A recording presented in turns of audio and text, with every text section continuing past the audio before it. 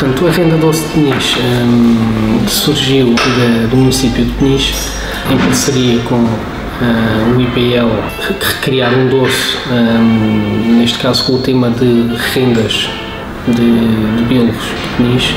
Tentámos aqui uh, inventar, digamos, um doce uh, em que um, houvesse aqui a implementação de, de incorporação das macroalgas.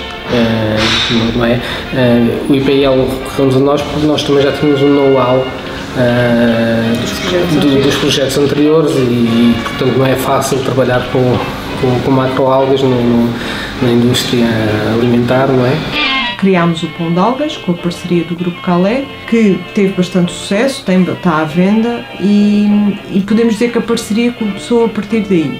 Peniche está ao pé do mar e já temos algum trabalho feito uh, na inclusão de algas uh, em, em, produtos não doces e fomos tentar uh, então ver como é que resultaria na inclusão de um, de um, produto doce, de um produto alimentar doce. A Escola de, de Arte e Design das Caldas da Rainha teve aqui o, deu o, prim, o principal input que foi a elaboração do logotipo e a forma de como é que a renda poderia ser replicada para poder ser aplicada na bolacha.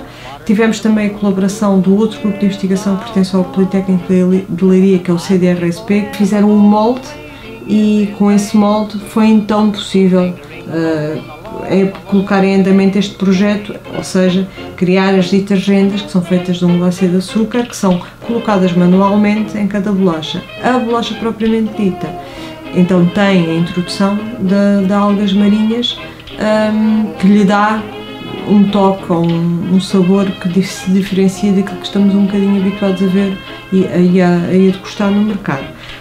Há algas que são mais ricas em proteína, têm um, um teor proteico, proteico muito elevado, a capacidade antioxidante, uh, o iodo, depois o ácido fólico e as fibras, dependendo da alga que é utilizada. Portanto, podemos estar a dar a mais importância à capacidade antioxidante, ou à, ou à quantidade de iodo, ou ao ácido fólico e por aí fora. Foi, foi um orgulho. Depois de ver o produto final, não imagina, é uma sensação porque de facto quem conhece a renda hum, parece mesmo.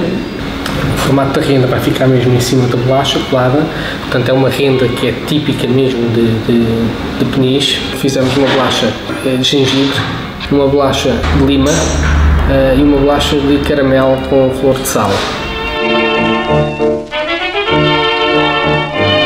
Um chá é uma bolacha, acompanha-se um pão com chá.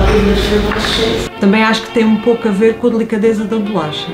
Portanto, e acho que o chá, tanto frio como quente, vai bem com a bolacha, sim. É, é o que eu aconselho.